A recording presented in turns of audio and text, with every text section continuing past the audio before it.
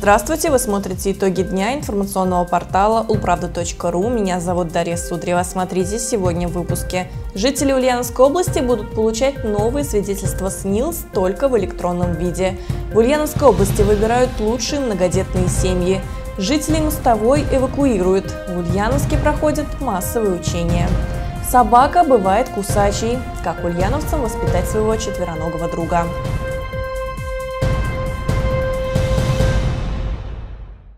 1 апреля вступили в силу изменения в федеральный закон об учете в системе обязательного пенсионного страхования.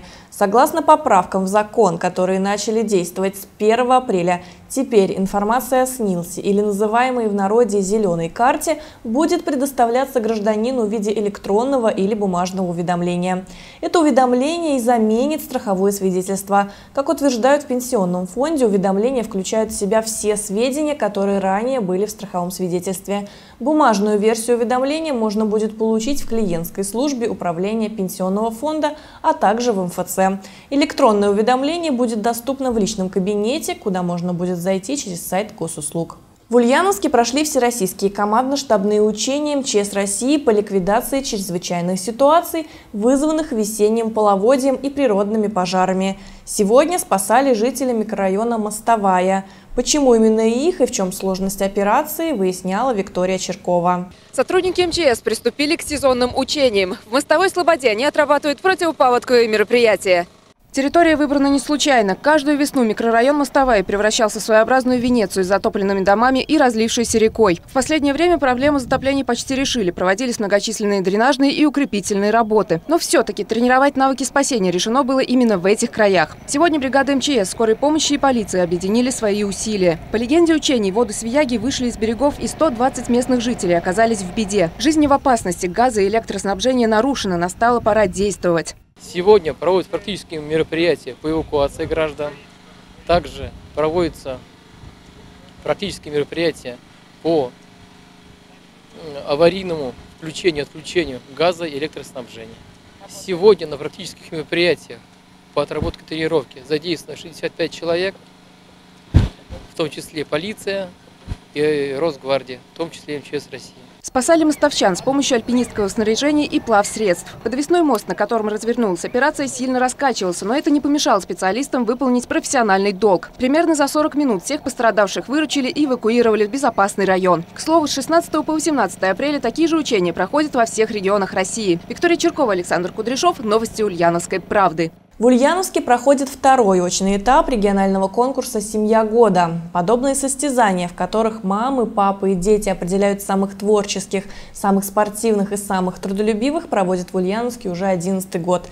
И с каждым годом конкурс становится все более популярным.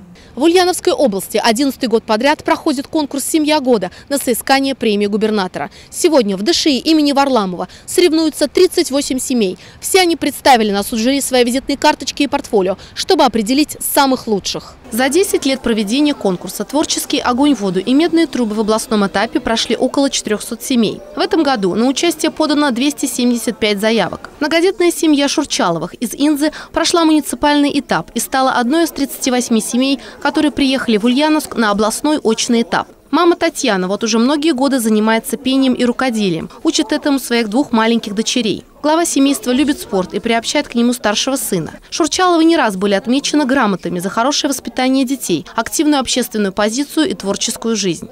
Большинство участвуем в детском саду, во всех конкурсах.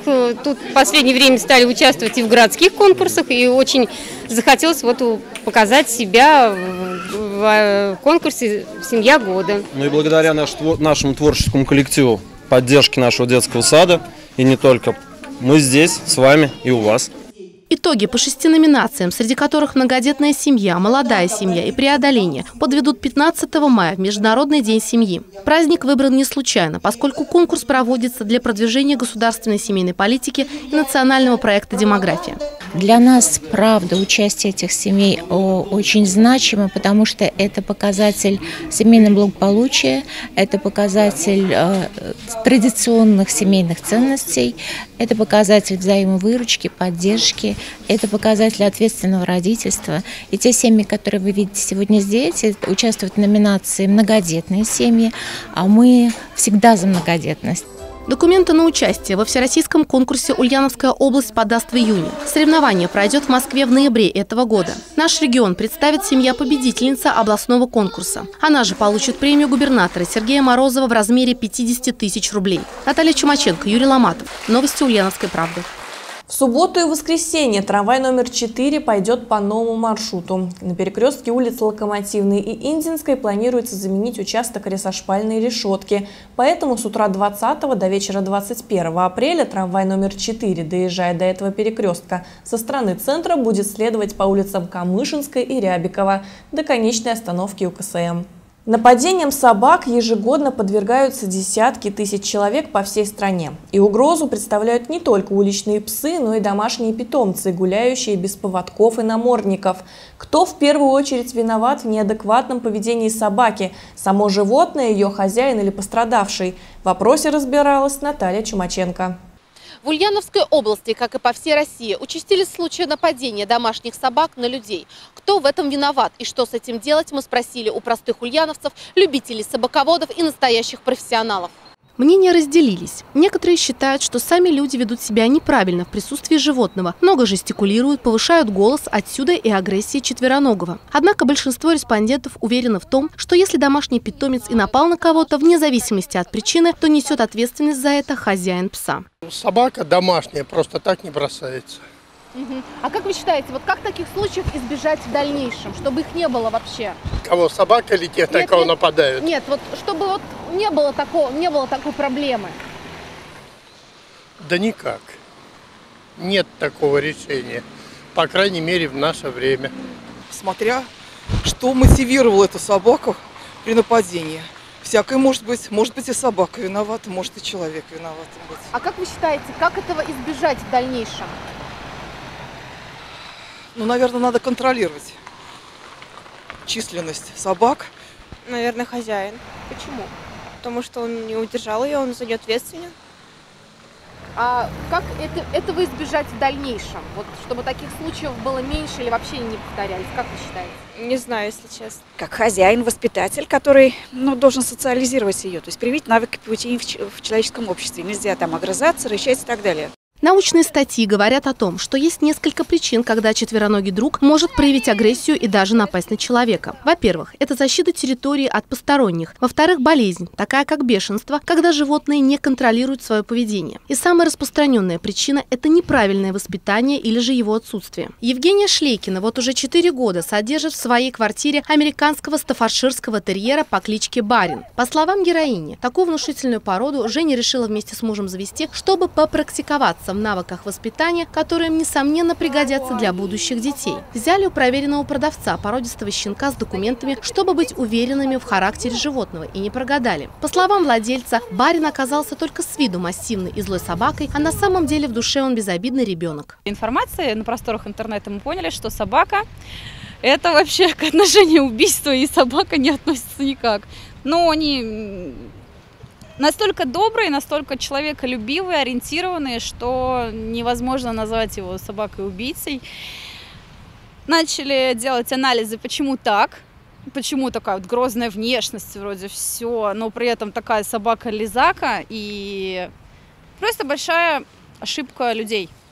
Очень много ошибок, что заводят, не занимается, потому что, ой, какая игрушечка, посмотрите, я тут классный. Воспитывать четвероногого нужно уже с пеленок, чтобы он знал команды хозяина и адекватно на них реагировал. Не только дома, но и на улице. Причем, если владелец животного тренирует его правильно, то собака может выполнять команды любого человека по требованию хозяина. В этом случае главное спокойствие, уверенность и вкусное лакомство, которым нужно каждый раз благодарить пса за терпение и труд. Как показывает практика, воспитание – это дело обязательное и ответственное, в чем уверены не только многие собаководцы, собаководы-любители, но и профессионалы. Алла Андреева многие годы профессионально занимается разведением и дрессировкой собак. Тренер говорит о том, что любая порода поддается дрессировке. Главное – желание хозяина. А в основном все-таки наша основная задача все-таки это собаку социализировать, э, играть с другими животными, не быть агрессивным на других животных.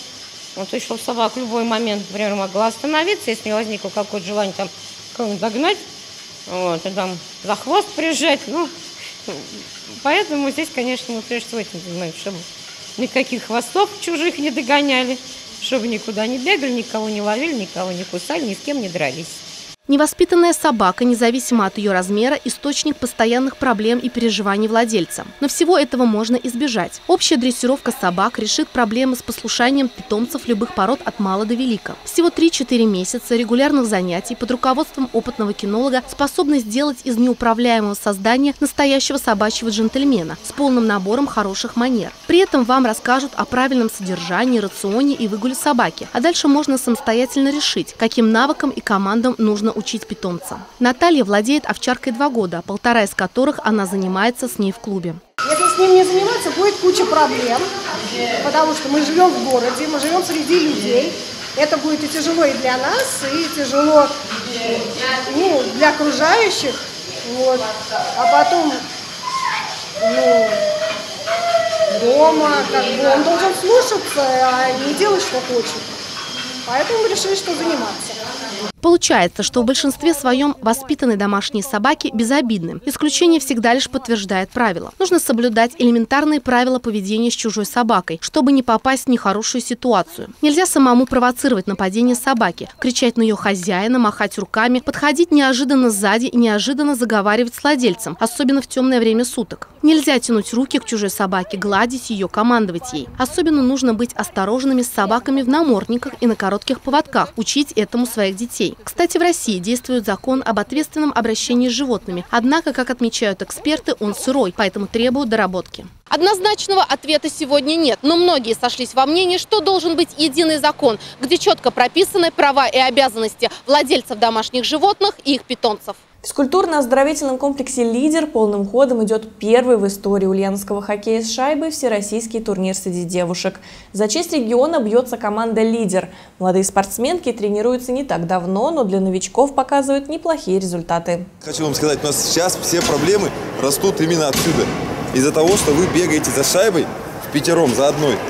У тренера Ульяновской областной федерации хоккея и шайбы Станислава Точилова особый контингент подопечных. В его команде только девушки. Для Ульяновской области дело новое, неизведанное. Коллективу «Лидер» меньше года, и в нем собраны исключительно железные леди. Никаких слез девчонки не льют, они все у нас, так скажем, крепкие, понимают, какой спорт они пришли, что это спорт контактный, тяжелый, что здесь нужно стиснув, стиснув зубы, сквозь себя идти к успеху. Поэтому они не, вот за все мое время работы, за целый год, ни разу не увидел у девчонок ни одной слезинки. Капитану лидера Ксении Сычевой 15. На носу школьные экзамены, а она по три раза в неделю через весь Ульяновск, не жалея ни сил, ни времени, мотается из родного Белого Ключа на тренировки в лидер. Ее хоккейный стаж около четырех лет. До формирования девичьей команды тренировалась со сверстниками-мальчишками.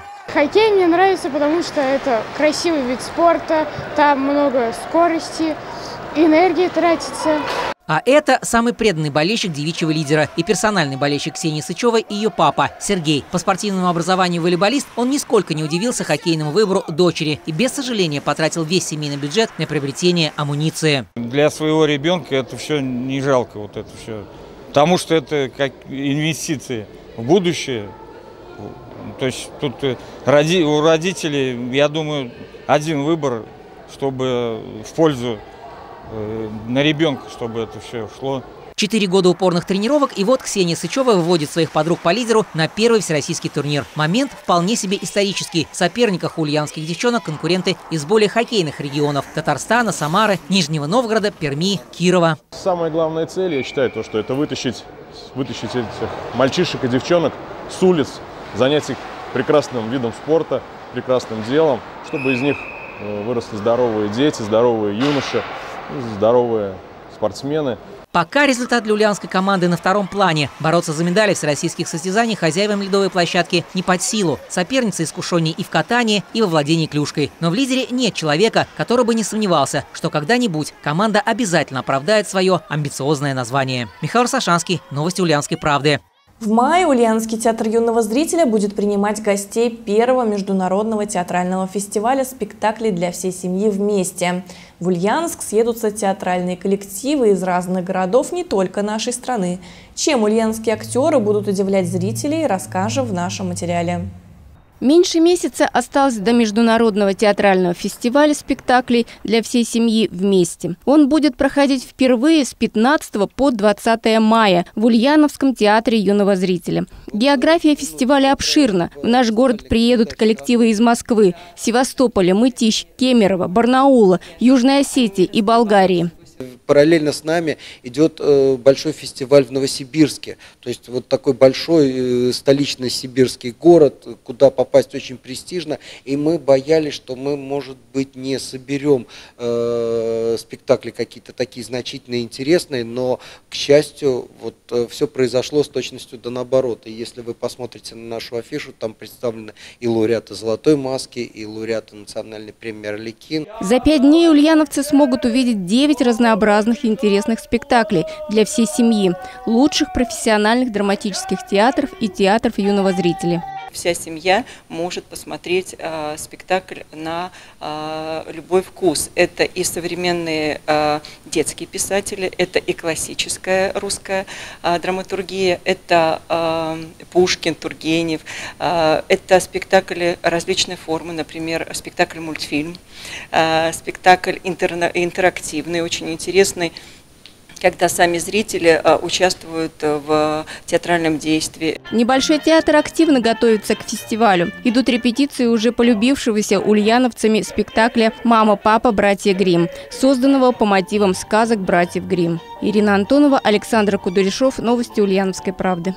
Ульяновцев приглашают принять участие в первомайской демонстрации. Традиционно 1 мая в России профсоюзы собирают на шествие митинг работников различных организаций, чтобы отметить День международной солидарности трудящихся. Традиционно сбор участников на площади 30-летия Победы. Начало движения колонны в 10 часов. И мы рассчитываем, что самое главное сегодня люди откликнутся на наше обращение. Прийти на 1 май и солидарными действиями поддержать самих э, себя, свои трудовые коллективы, свое рабочее место, бороться за свою достойную заработную плату. Я думаю, что это все стоит того, ради чего мы все живем, ради жизни на земле, и хотелось бы, чтобы это было действительно очень празднично. Это все новости на сегодня. Смотрите нас на информационном портале ulpravda.ru по будням 18.50. До завтра.